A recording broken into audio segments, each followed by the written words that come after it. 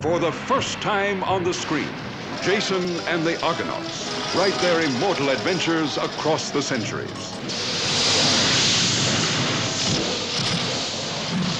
Jason and the Argonauts in color